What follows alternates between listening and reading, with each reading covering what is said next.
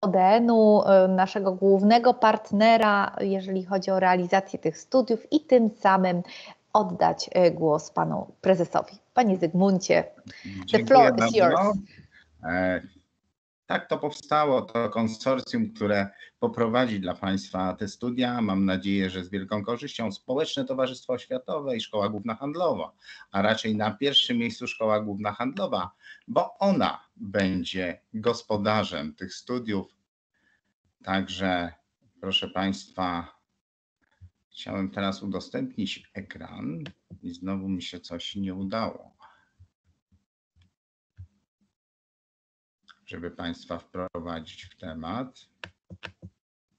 Może na chwilę to jednak zamknę i wrócę.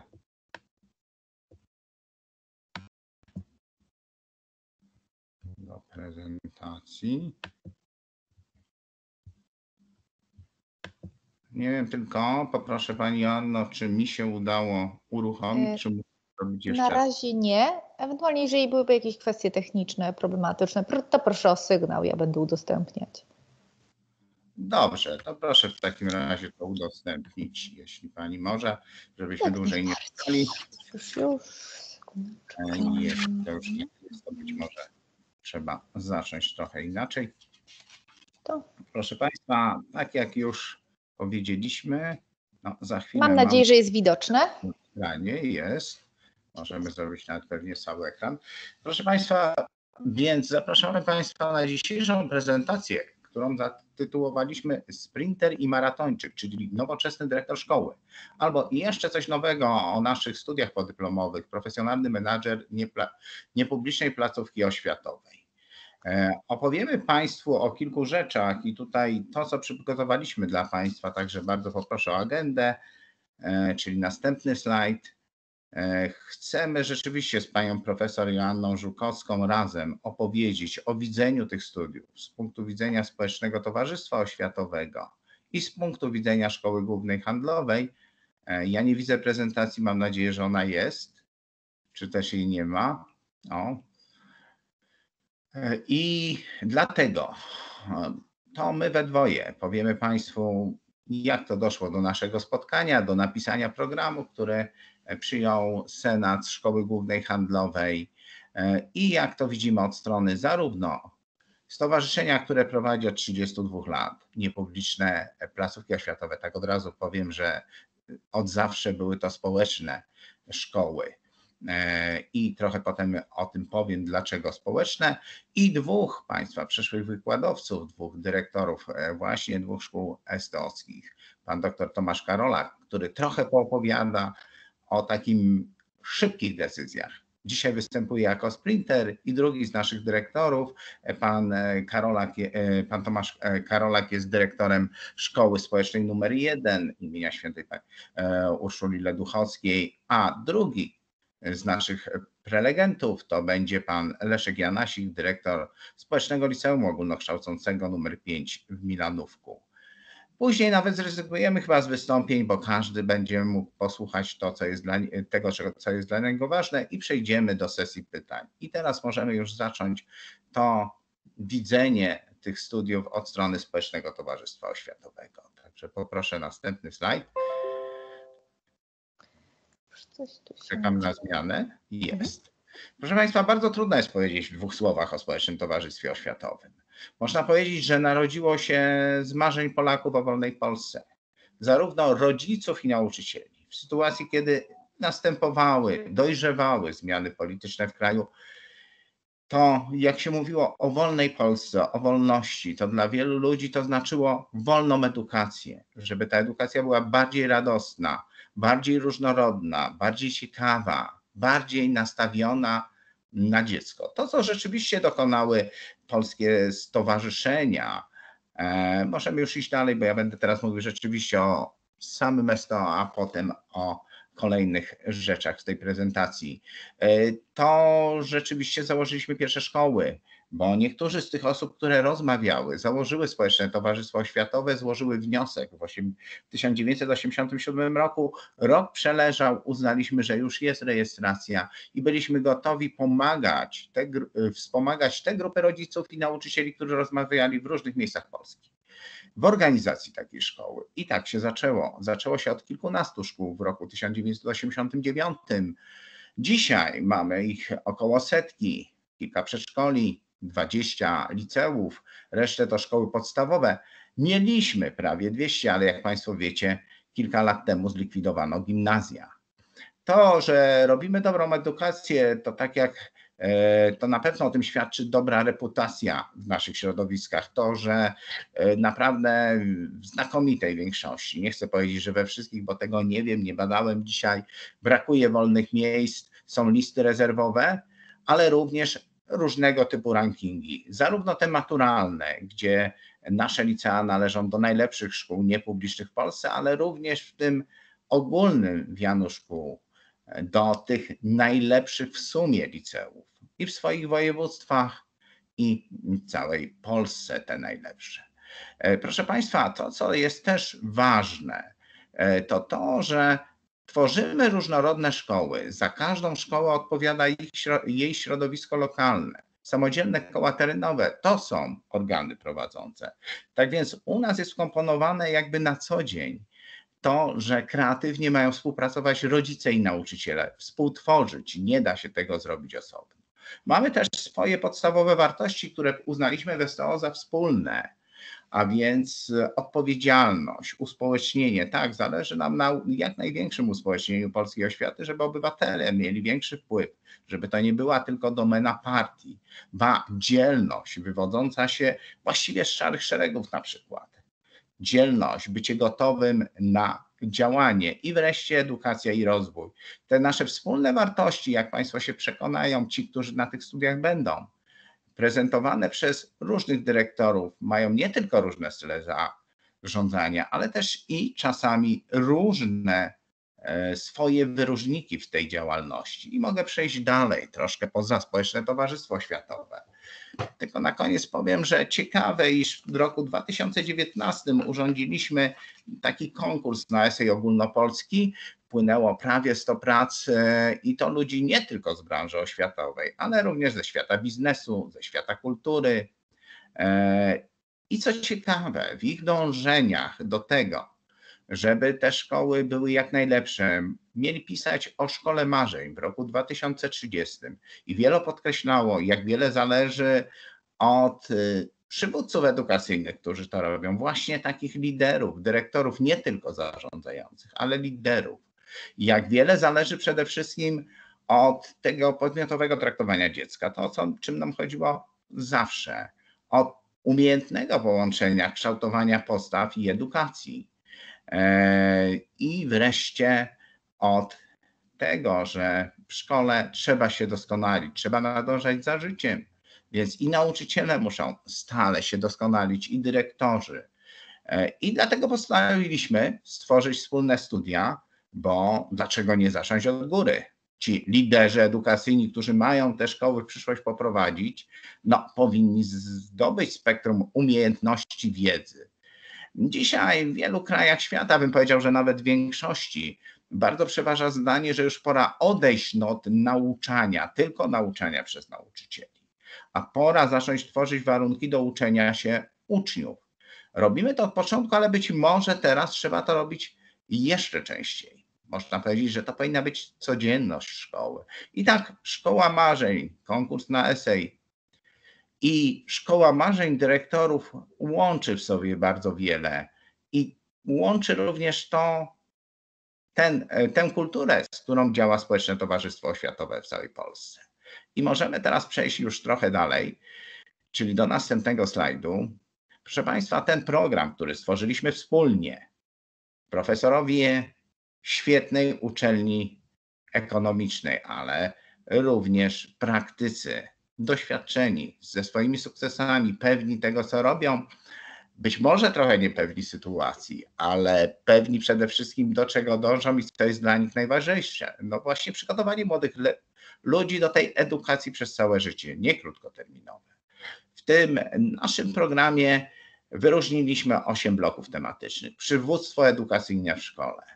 Właśnie nie zarządzanie, przywództwo, bycie otwartym na zmianę, bycie gotowym do zmiany, ale również przywództwo, czyli świadome prowadzenie swoich ludzi, wspomaganie ich, a czasem nadążanie za nimi. Proszę Państwa, to przywództwo oczywiście prowadzi do uczenia i rozwoju również indywidualnego. I jak powiedziałem, w szkole uczą się wszyscy. A więc chcemy, żeby jak najbardziej i emocjonalnie byli w to zaangażowani uczniowie, ale również nauczyciele, również kadra kierownicza. To dlatego prawie od początku, od 25 lat organizujemy wakacyjne szkoły dla dyrektorów i nauczycieli. W ostatnim dziesięcioleciu tylko raz nie zorganizowaliśmy, w pierwszym roku pandemii, ale w tym roku przyjęliśmy na takie szkolenie w Kazimierzu aż 70 nauczycieli, 50 dyrektorów. 120 osób przyjechało w lipcu się pouczyć przez tydzień. Proszę Państwa, następny nasz blok to jest oczywiście e, sprawa e, tutaj wspólnego myślenia o szkole, a więc, a ja sobie powiększę ekran, żeby już nie błądzić pojad.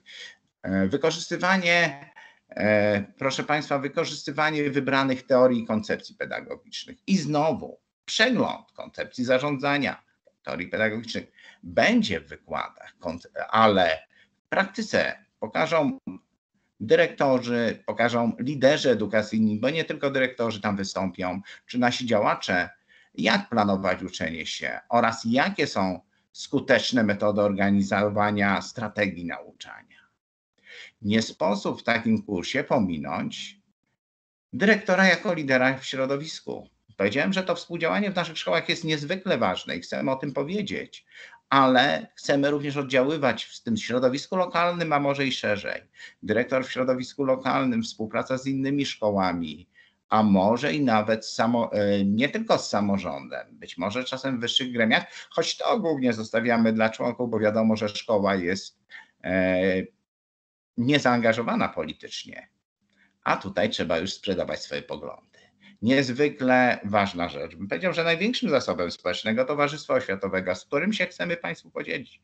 Przedstawimy naszych najlepszych liderów, bo naszym największym zasobem są ludzie po tych 30 paru latach. Grupa 3000, 3,5 tysiąca ludzi, pracowników, wielu z nich znakomitych nauczycieli, znakomitych dyrektorów opowiedzą Państwu o tym, co robią na co dzień.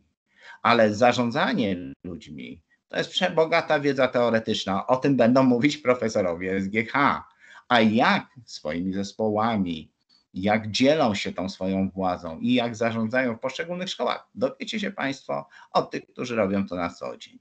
Oczywiście, że w tym kontekście jest i zarządzanie strategiczne. Mówimy tutaj o kontekście prawnym, społecznym i finansowym. To, że my chcemy być i jesteśmy częścią systemu edukacji. Chcemy być aktywni w swoich społecznościach lokalnych. Nawiązujemy współpracę i chcemy takiej współpracy i ze szkołami publicznymi i niepublicznymi, z tymi wszystkimi, którzy współtworzą ją. Oczywiście, że też jesteśmy w tyglu finansowym, borykamy się z różnymi sprawami finansowymi. To dyrektor szkoły jako menadżer ma zaprojektować budżet i go zrealizować, utrzymać, ale jesteśmy otwarci na nowości. W tym kontekście prawnym jest bardzo ważne, żeby rozróżniać, co dotyczy oświaty niepublicznej, co nie dotyczy. E, czasami wydaje się niektórym osobom, że tego jest bardzo niedużo, a niektórzy wiedzą, że wcale nie tak niedużo, tylko trzeba te subtelności umieć wyłuskać. Wcale niewielu prawników takie subtelności potrafi wykorzystać. Wreszcie, proszę Państwa, zarządzanie własnym rozwojem zawodowym. Nie tylko uczniami, ale i swoim rozwojem zawodowym, czasem i wszystkim, co potrzeba. I na koniec niezwykle istotna u nas perełka, seminarium projektowe. Każdy z uczestników tych studiów będzie w małej grupie e, projektowej, ale każdy z nich będzie przygotowywał swój projekt, dość wspólny tematycznie, ale tak naprawdę nakierowany E, na jego działania w szkole, w której pracuje, bo będzie mógł takie rzeczy robić, zbadać, co jest potrzebne, zacząć planować, jak jest to potrzebne i opisać to w swoim projekcie, zaprezentować, może już zacząć wdrażać. Jeśli się trafią tacy uczestnicy, którzy jeszcze w szkole nie pracują, to będą musieli skonkretyzować swoje marzenia, na czym im przede wszystkim zależy. i spróbować też to zaprojektować, a być może gdzieś po się zbadać. Jak nie będzie gdzie, udostępnimy jedną z naszych szkół. I proszę Państwa, to jest ten program, na który zapraszamy. I jak widzimy, to my w Społecznym Towarzystwie Oświatowym. Także bardzo proszę dalej, Pani Joanno. E, my mówimy o tym, że te korzyści między SGH i e, STO, że robimy to wspólnie, są tak wielkie. A teraz bardzo proszę pani profesor o tym widzeniu od strony SGH. Dziękuję bardzo. Naturalnie mogę się Dziękuję tylko bardzo. podpisać pod słowami pana e, prezesa. Bardzo dziękuję za e, to przedstawienie i faktycznie chciałam Państwu opowiedzieć troszeczkę o, o aspiracjach i wartościach e, Szkoły Głównej Handlowej w Warszawie, kilka słów o samej szkole, no i oczywiście o wykładowcach, z którymi mm. Państwo się spotkacie, osobami, które wprawdzie związane z SGH, wywodzące się z SGH, ale z edukacją bardzo, bardzo mocno powiązane. Mówiąc o Szkole Głównej Handlowej w Warszawie, warto zwrócić uwagę na takie podstawowe nasze wartości i aspiracje. Przede wszystkim e, zapisana jest w samej strategii uczelni prawda, profesjonalizm, uczciwość, szacunek i współpraca, i w trakcie realizacji naszych studiów właśnie na tym będziemy bazować. Będziemy bazować na profesjonalizmie, będziemy e, poszukiwali pewnej prawdy w tym, e, czego się uczymy.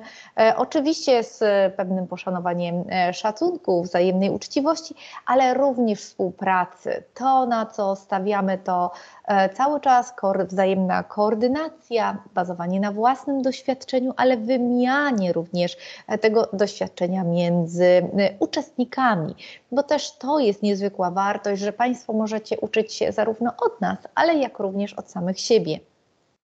E, będziemy to realizować dzięki wartościom, które SGH e, wyznaje, czyli zaangażowaniu, jak i wiodącej pozycji naukowej, przywództwie, opiniotwórczej SGH, cyfrowej i odpowiedzialnej.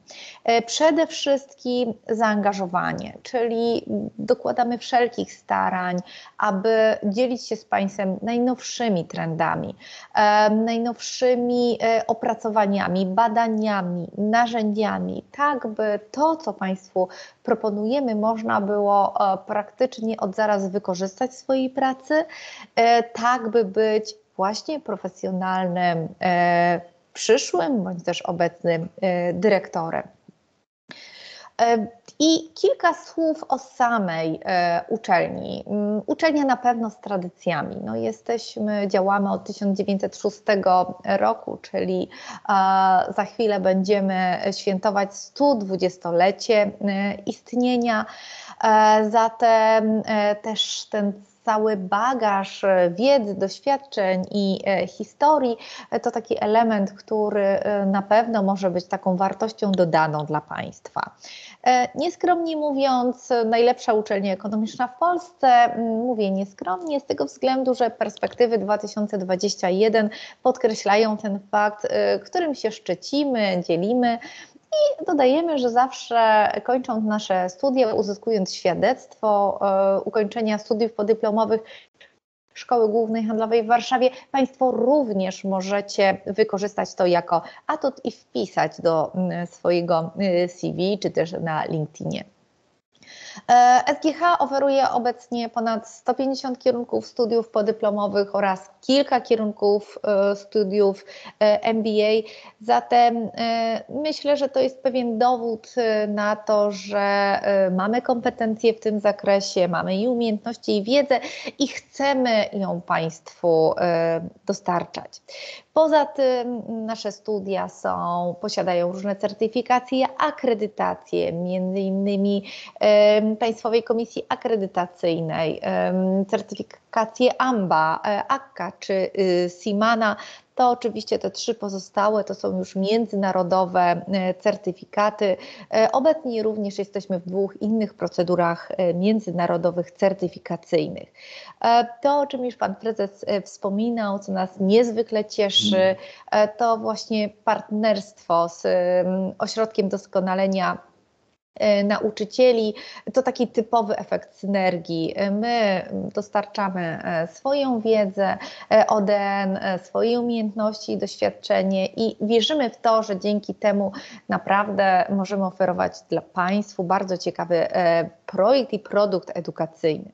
No i oczywiście eksperci, eksperci praktycy, zarówno osoby reprezentujące wiodące szkoły niepubliczne w Polsce i tutaj również kłaniają nam się rankingi e, perspektyw i rankingi egzaminów zewnętrznych, ale również e, nasza e, kadra SGH.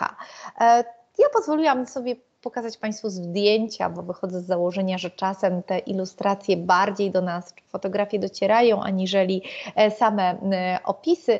I tak idąc, no, widzicie Państwo mnie, obok mnie pan doktor Marek Laszuk, wybitny specjalista w zakresie finansów, dyrektor finansowy publicznych placówek w, na terenie Polski.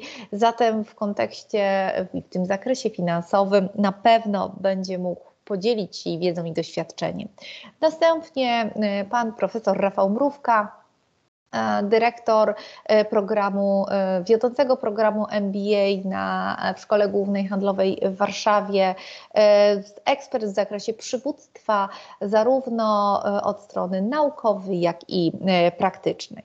Później to duże zdjęcie to pani profesor Marzena Fryczyńska, mm, specjalista w zakresie zarządzania zasobami e, ludzkimi, również kierownik studiów e, podyplomowych, e, zarządzania zasobami ludzkimi dla menedżerów, menedżerów różny, różnego szczebla, jak również pani profesor jest pra praktykiem i może dzielić się tym, co robi na co dzień. Kolejne duże zdjęcie, mecenas Piotr Grodki, to tutaj te aspekty prawne, e, partner w jednej z dużych e, kancelarii e, prawnych w Warszawie. Zatem ta kwestia prawno-administracyjna na pewno będzie dobrze zagospodarowana przez pana mecenasa.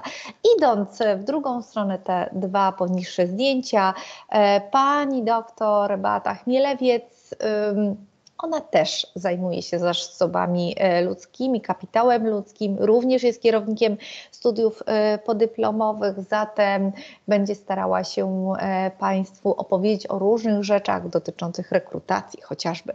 No i na końcu pan profesor Mikołaj Pindelski, nomen omen prodziekan w Szkole Głównej Handlowej, ale przede wszystkim człowiek od zarządzania strategicznego, od nowych trendów, nowych koncepcji, który zazwyczaj e, zaraża pewną wizją e, tym, co może się wydarzyć i inspiruje.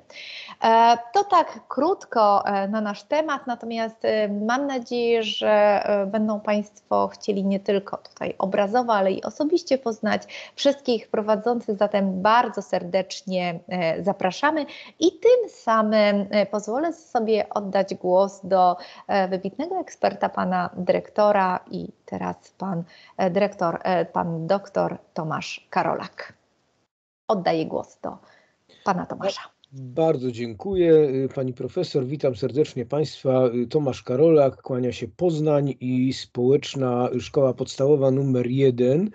Jedna z większych y, szkół pracujących, działających w ramach naszego stowarzyszenia. Mamy ponad 520 uczniów, blisko 70 e, nauczycieli, w sumie ponad 100, e, ponad 90 pracowników, a więc organizacja dość duża e, i złożona. A w tak dużej organizacji bywa czasem trochę pośpiechu. I właśnie o tym pośpiechu chcę Państwu dzisiaj opowiedzieć, ponieważ przyjęliśmy taką metaforę na to spotkanie, że dyrektor szkoły jest zarówno maratończykiem, jak i sprinterem. O tym dystansie maratońskim za chwilę y, mój kolega, pan dyrektor Janasik będzie mówił, natomiast ja chcę się skupić na tym, kiedy my jako dyrektorzy bywamy sprinterami. Prosiłbym tylko o potwierdzenie, że widać prezentację, ponieważ mam obawy. Tak, widać, jak najbardziej widać. Świetnie, znakomicie. Y, zacznę może od takiej anegdoty, bo, kiedy, bo ja bardzo lubię tą metaforę sprint maraton, często do niej wracam. Y, przez lata pracowałem też jako wykładowca y, w zakładzie dydaktyki matematyki na Uniwersytecie Adama Mickiewicza w Poznaniu i tam kształcąc przyszłych nauczycieli matematyki też często odwoływałem się do tej metafory, że nawet w nauczaniu jakiegoś przedmiotu, choćby matematyki, pewne cele, które stawiamy sobie na krótką metę, mogą okazać się sprzeczne z takimi celami, które chcemy osiągnąć w długim czasie. To jest prosta obserwacja, nawet w wychowaniu dzieci.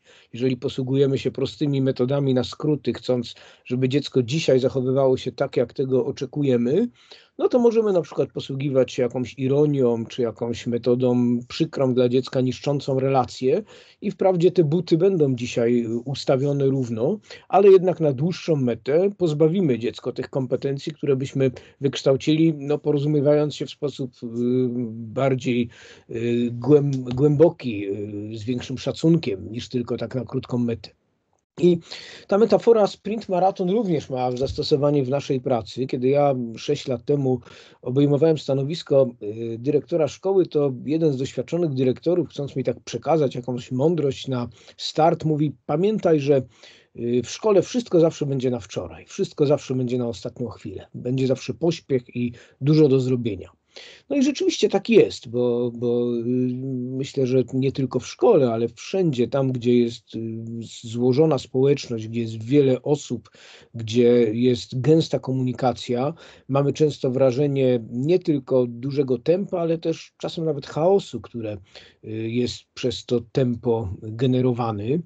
No i jesteśmy takimi sprinterami, którzy muszą wykazać się refleksem, szybkością podejmowania decyzji.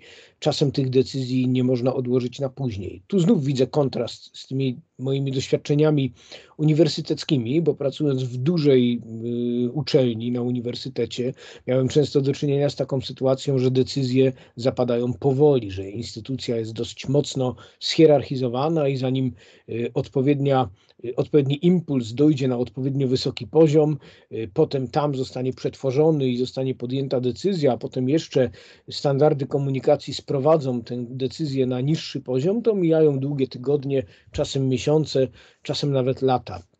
Tymczasem dyrektor szkoły często musi działać y, szybko.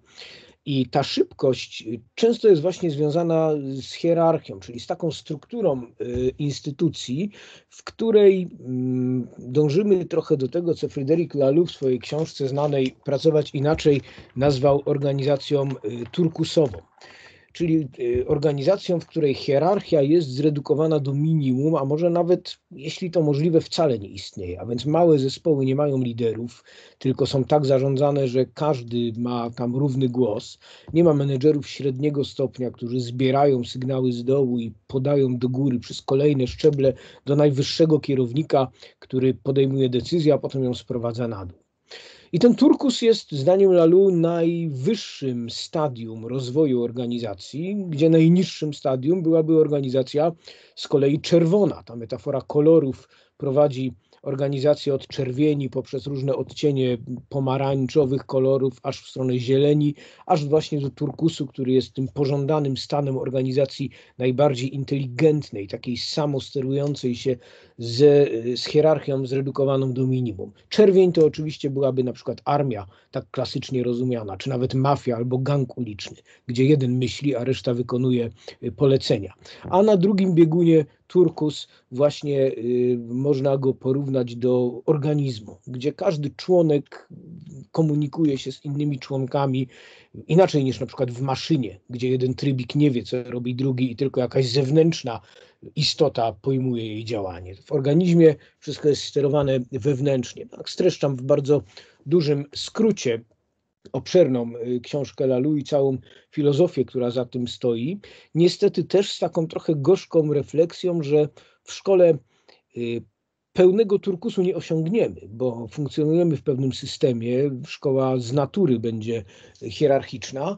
Y, już nawet akty prawne, wszystkie rozporządzenia stawiają dyrektora na wysokim miejscu w zasięgu y, w kontekście podejmowania decyzji. Natomiast można jednak ten turkus wprowadzać, a czasem, gdy trzeba szybko podjąć decyzję i gdy ma to być decyzja mądra, uwzględniająca y, różne punkty widzenia członków społeczności szkolnej, to rzeczywiście sposób słuchania i zebrania tych sygnałów jest bardzo ważny.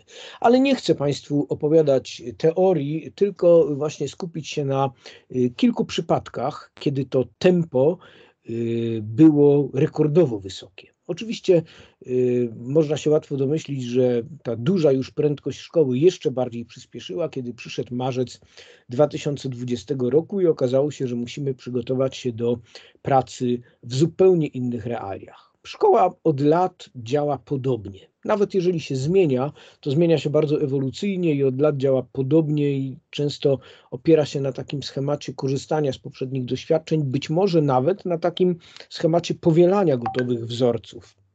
A mamy y, przecież y, nową nagłą sytuację, przychodzi marzec 2020, no i trzeba wyprowadzić dzieci ze szkoły i zacząć nagle uczyć. Oczywiście ta decyzja, to można by książkę napisać, dlatego że podejmowaliśmy decyzję w warunkach skrajnie niesprzyjających i też nie wiedząc, jaki to jest horyzont. Właściwie nie był to ani sprint, ani maraton, tylko był to taki bieg, gdzie nie wiadomo, kiedy będzie meta. Czy ona będzie za kilometr, czy za dwa kilometry, czy może za pięćdziesiąt. Wszyscy myśleli, że dwa tygodnie, później się okazało, że jednak kilka miesięcy miesięcy, później się okazało, że ponad rok. Oczywiście pierwsze tygodnie mijały szybko na adrenalinie i wszyscy byli wdzięczni, że w ogóle cokolwiek działa, że szkoła radzi sobie z tą sytuacją lepiej niż wiele innych. Akurat po tygodniu uruchomiliśmy pierwsze zdalne lekcje, które potem były stopniowo upowszechniane. Ale przyszła ta trudna jesień 2020 roku, kiedy w listopadzie okazało się, że nadal jesteśmy i to już nie wiadomo jak długo na zdalnym nauczaniu. I to, co na początku było nowe i takie pełne entuzjazmu, okazało się szare. Jesień też nie sprzyjała nastrojom. I nagle wszyscy zaczęli wymagać od siebie dużo więcej niż dawałyby temu podstawy no, nasze, skala naszych doświadczeń. Okazało się, wracam teraz do slajdu, który od kilku już y, minut pokazuje, że y, bardzo dobrym pomysłem w naszej szkole, właśnie takim turkusowym pomysłem, y, był think tank zdalnej edukacji, kiedy pewne decyzje dotyczące korekty kursu tego, jak wygląda zdalne nauczanie, zostały skonsultowane w bardzo szerokich grupach fokusowych. Wybraliśmy grupy fokusowe złożone, co się w ogóle w szkole rzadko zdarza, niejednorodne grupy, w których uczestniczyli i uczniowie, i y, nauczyciele, i rodzice. Zwykle te trzy stany mają niewielkie pole do rozmowy właśnie w takim trójstronnym układzie. Bo owszem, owszem uczniowie z nauczycielami rozmawiają non-stop, podobnie uczniowie z rodzicami. Nauczyciele z rodzicami już trochę rzadziej na jakichś zebraniach czy wymieniając informacje, ale więc jednak w sytuacjach albo nadzwyczajnych, albo takich awaryjnych. A tutaj zebranie w jedne grupy fokusowe to była dość skomplikowana logistyka, nie mam w tej chwili czasu, żeby o wszystkim opowiadać, ale efektem finalnym było takie spotkania, na których wszyscy mogli wypowiedzieć się, co sprawdza się w tym modelu zdalnego nauczania, który na chwilę obecną był wdrożony w listopadzie 2020 roku, a co wymaga pewnych korekt. I okazało się, że bardzo dużo konstruktywnych wniosków spłynęło, a te wnioski miały tym większą moc, że były wcześniej skonsultowane właśnie w tych poszczególnych grupach, czyli uczniowie, zanim przyszli na spotkanie, skonsultowali we własnym gronie i wyłonili to, co dla nich jest najważniejsze, tak samo rodzice i nauczyciele. I nagle okazało się, że pewne głośne sygnały, na przykład krytyczne, które do nas docierały, wcale nie miały szerokiej reprezentacji, no bo to jest znane prawo wielu społeczności, że osoba z czegoś niezadowolona mówi bardzo głośno, sprawiając wrażenie, że reprezentuje jakąś szerszą grupę.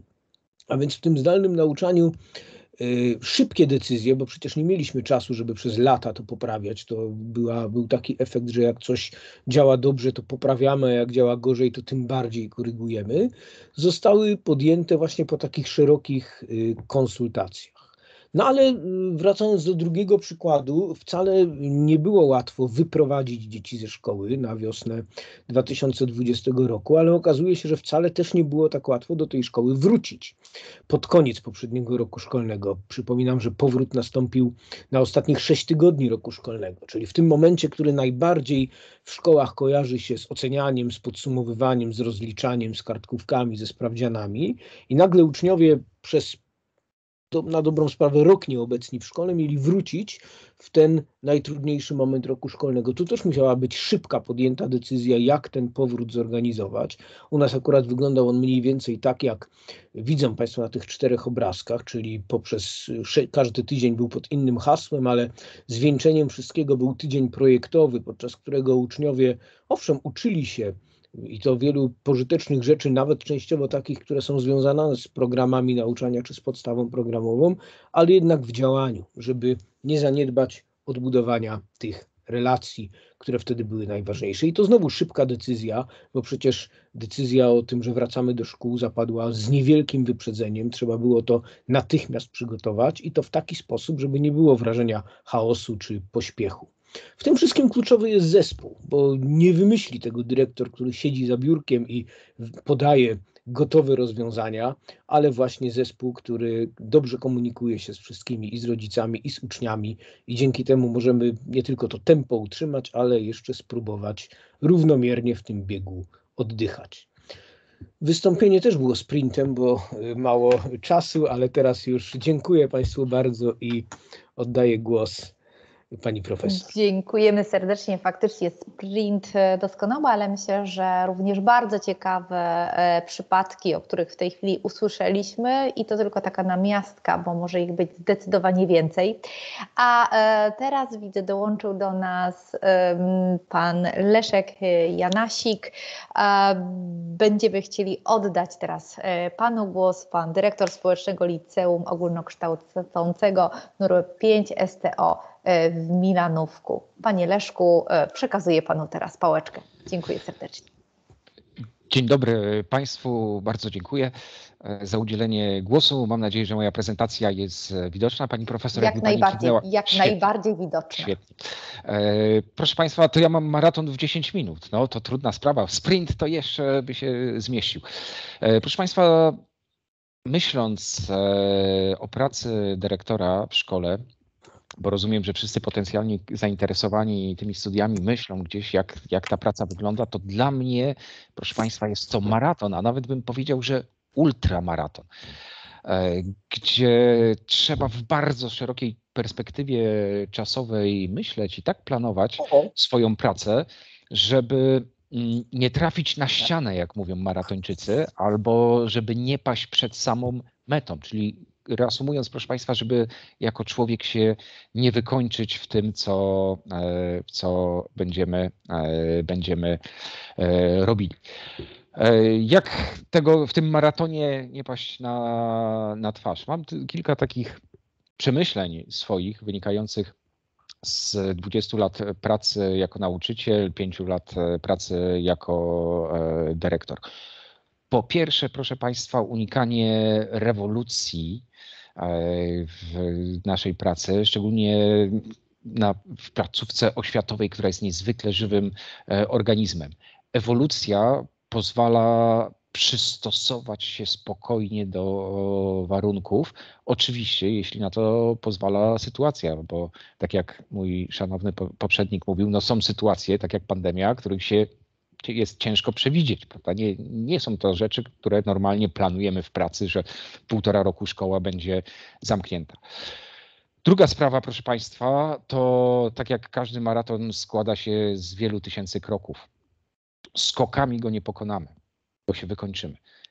Lepiej tą pracę sobie zaplanować jako sumę drobnych działań. Oczywiście takich, które mają jakąś, jakiś wspólny kierunek, jakiś wspólny cel. I to jest moim zdaniem niezwykle ważne e, właśnie w planowaniu pracy, e, swojej pracy w przyszłości. I teraz, proszę Państwa, kilka takich e, przypadków.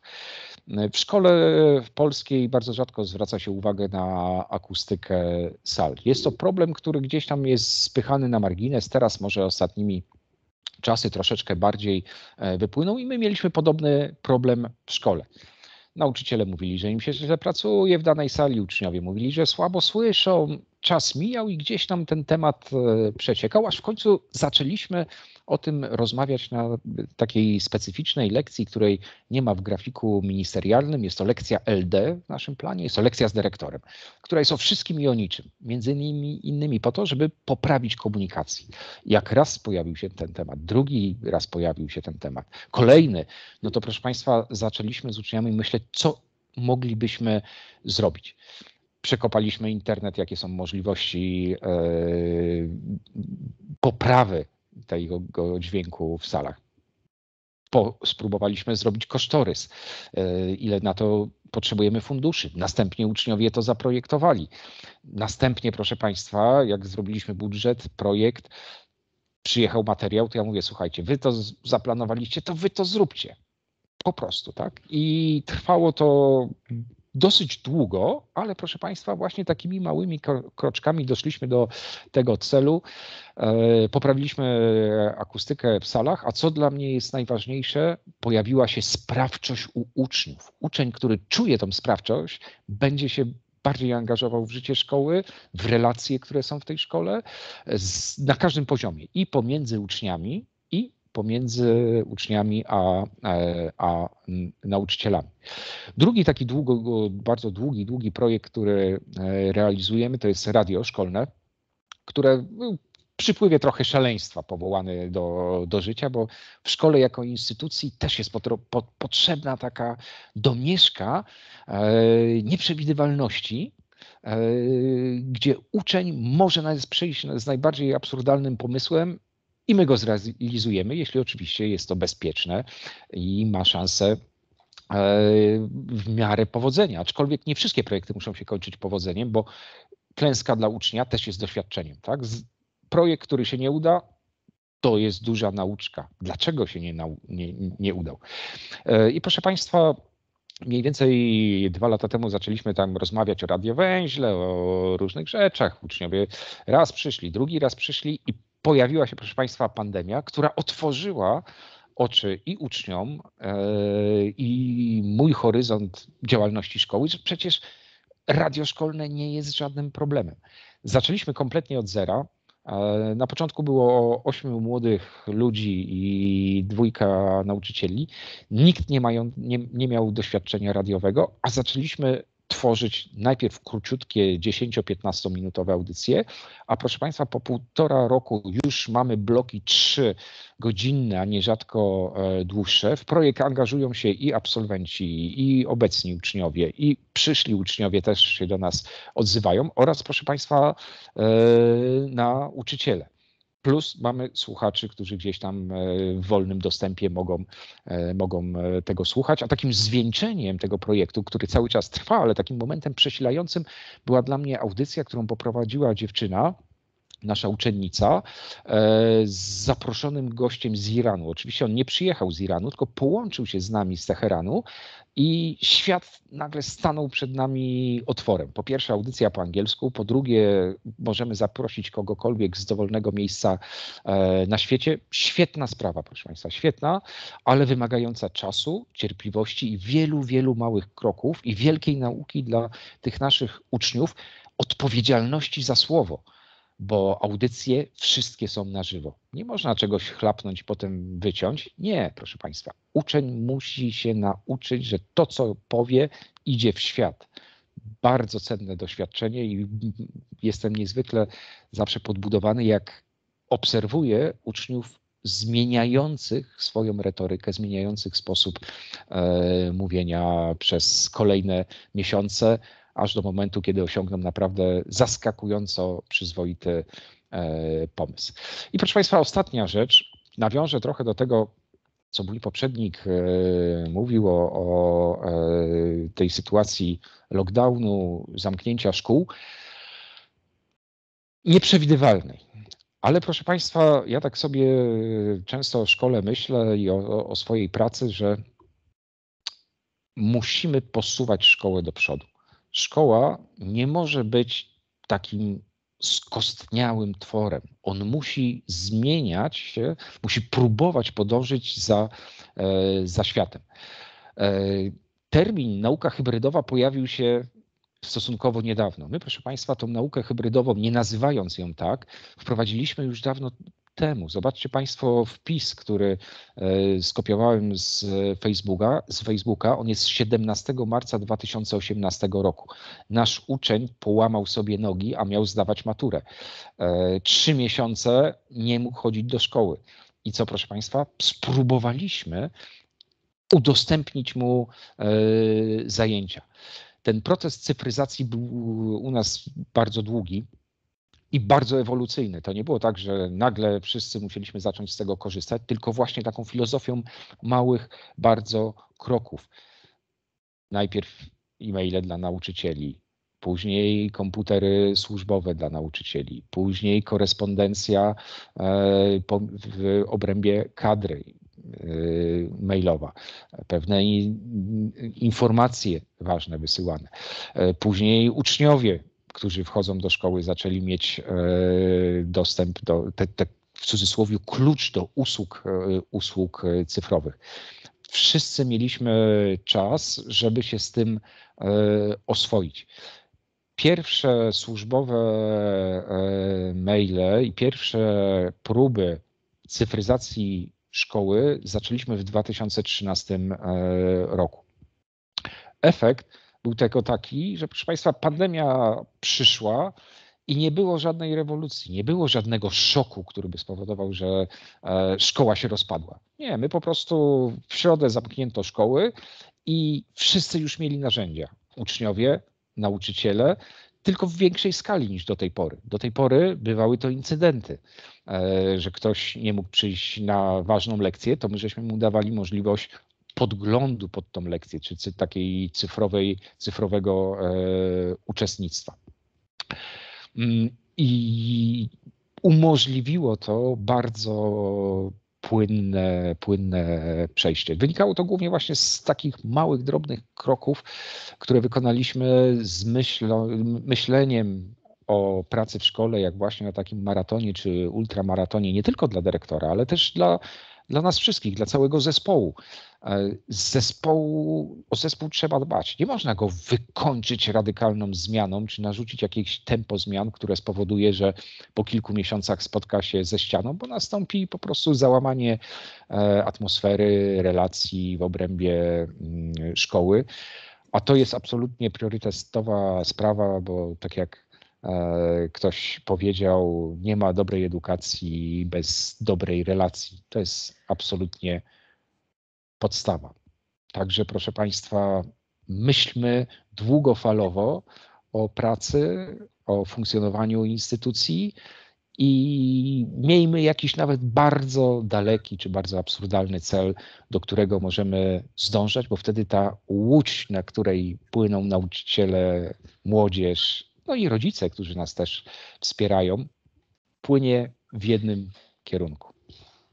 Dziękuję serdecznie. Dziękuję Panie dyrektorze, powiedziałabym, że nawet nie absurdalny, ale może niezwykle ambitny, zwłaszcza słuchając e, Państwa, słuchając Pana, można powiedzieć po prostu wizjoner w całej krasie, 2013 rok. A właściwie przewidzieliście to, co będzie blisko za 10 lat się działo, więc. E, tym niemniej e, zapraszamy serdecznie, bo z takim wizjonerstwem ewidentnie będziecie mogli mieć Państwo do czynienia i spotkać się, poznać bliżej w trakcie naszych studiów. E, proszę Państwa, i tym samym dochodzimy do części niezwykle istotnej, czyli tej części zadawania pytań. E, mamy chwilkę, zatem jeżeli pojawiają się jakieś pytania, to ja bardzo uprzejmie proszę o odnotowywanie ich na czacie w tej chwili. Każdy z Państwa ma dostęp do czatu i to jest ten moment, w którym serdecznie Państwa zachęcam do zadawania pytań.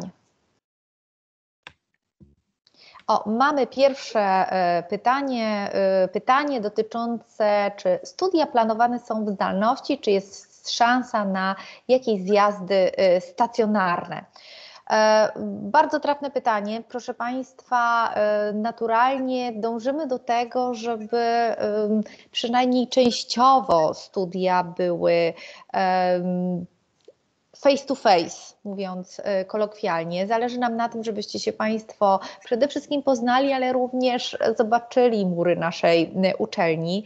E, w dużej mierze wszystko będzie zależało od sytuacji pandemicznej, więc zarówno jesteśmy przygotowani na tą wersję online'ową, mamy to przetestowane, ale mamy również nadzieję, że będzie możliwość na spotkania na żywo, zatem mamy, wierzymy bardzo mocno w tą wersję hybrydową. E, I widzę już kolejne pytanie. Dużo mówili Państwo o nacisku na praktykę. Jak to będzie realizowane?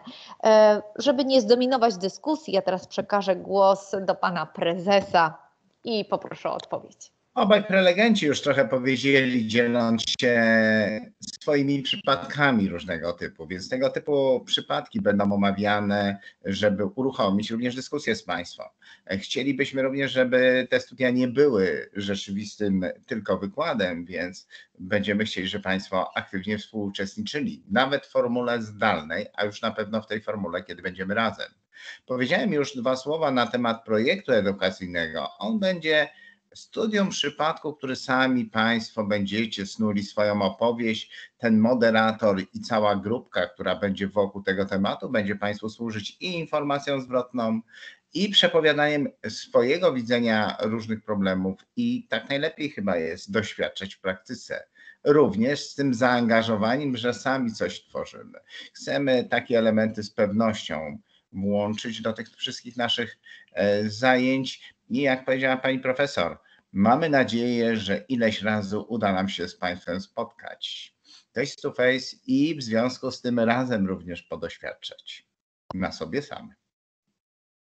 E, dziękuję serdecznie. Proszę Państwa, jeszcze mamy dosłownie ostatnie dwie minuty, zatem jeżeli jakiekolwiek pytania się pojawiają, to bardzo serdecznie zachęcam do tego, żeby zadawać je w tej chwili na czacie. Naturalnie sama e, prezentacja może być Państwu udostępniona. E, są do nas namiary, więc jeżeli pojawią się inne pytania, to również zachęcam. O, kolejne pytanie. Czy to studia bardziej dla obecnych czy przyszłych dyrektorów? Ja mogę odpowiedzieć, że moim zdaniem dla jednych i drugich jak się jest dyrektorem, to żeby być dyrektorem dobrym za chwilę, jak powiedziałem, dbamy o to w Społecznym Towarzystwie Oświatowym, zawsze warto się rozwijać, zawsze warto coś zmieniać. Ja powiem, że ci dyrektorzy, którzy na przykład zabrali się w tym roku na tą naszą wakacyjną szkołę e, do Kazimierza, poznali metody zwinnego zarządzania zmianą, a więc takiego, które dotychczas funkcjonowało tylko w biznesie, trochę w wojsku, szybkie zmiany prawne, szybkie zmiany warunków, duże ryzyko i podejmujemy decyzje. E, I myślę, że to jest ta odpowiedź e, dla wszystkich, którzy chcą się nauczyć. Ba, ja bym nawet powiedział, że niekoniecznie będą chcieli być za chwilę dyrektorami. Może być e, to koordynator czegoś, czy chciałby wiedzieć więcej, być tym liderem edukacyjnym lub sam w sobie zbudować to widzenie swojej roli jako dobrego nauczyciela. To też zapraszamy. To tak jak z tą buławą generalską. Ma się ją w plecaku, nigdy nie wiadomo, kiedy będzie potrzebna. Ja jeżeli mogę, to jeszcze dodam, pamiętajcie Państwo, w tytule celowo nie mamy dyrektor, tylko mamy menedżer, ponieważ ten menedżer może być w różnych e, obszarach i mówimy tutaj o placówkach edukacyjnych. Nie zawsze jest to tylko i wyłącznie szkoła, są to również przedszkola, są to również inne placówki oświatowe, edukacyjne, rozwojowe. Zatem zapraszamy e, wszystkich e, w razie jakichkolwiek dalszych pytań. Oczywiście jesteśmy do Państwa pełnej dyspozycji rekrutacja trwa. Dodam jeszcze, iż na naszej stronie jest też e, link do możliwości skorzystania z dofinansowania, trzeba wejść na stronę, sprawdzić, zalogować się i być może również e, skorzystać z tej opcji. Część z Państwa, którzy się rekrutują, e, wybierają również tą ścieżkę. Serdecznie Państwa ja zapraszamy. Dodam, Pani Bardzo profesor, proszę. to jest taka nowinka E, jeden z naszych dyrektorów, obecnie urzędujący, który chce być uczestnikiem naszych studiów, właśnie dzisiaj złożył pismo w Urzędzie Pracy w swojej miejscowości o dofinansowanie. Jest możliwość podobno, przynajmniej na jego terenie, nawet do 80%. Urzędy. To prawda. Podnoszenie kwalifikacji. Dziękuję bardzo. Dziękuję, wszystkim za Dziękuję spotkanie. serdecznie. Dziękuję, Dziękujemy profesor. Państwu bardzo. E, Dziękuję wszystkim e, prelegentom, dziękuję Panu e, Prezesowi, no i oczywiście wszystkim gościom. Wierzymy wspólnie, że zobaczymy się już niedługo, czy to onlineowo, czy to zdalnie. Dziękuję Państwu bardzo serdecznie. Hybrydowo. Hybrydowo zapewne. Dziękuję. Dziękuję.